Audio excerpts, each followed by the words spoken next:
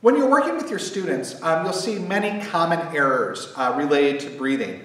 Um, the most common one is students who believe that they are doing deep breathing when in fact um, they're actually inhibiting that deep breath. Um, a common thing that you'll see are students who take a breath like this. if you see the shoulders raising, and try that right now on your own, you'll notice that it pinches the throat. It also compresses the upper lungs, making it more difficult for the ribs to expand. Uh, another commonality that you'll see, or more accurately hear, are students who take a really inhibited breath. So the shoulders stay in place, the body looks erect, but when you listen to their breath, you're going to hear that uh, high and raspy.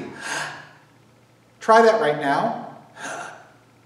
You'll notice that when they do that, the tongue is very high in the back of the mouth, the throat is restricted, and the air really doesn't get all the way down to the that ad, abdominal floor.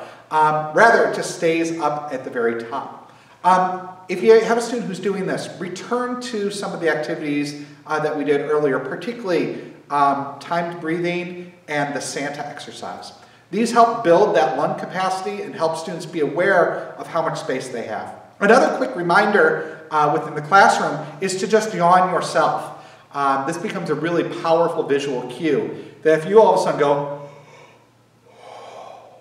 the students have that understanding that they also need to take that deep breath.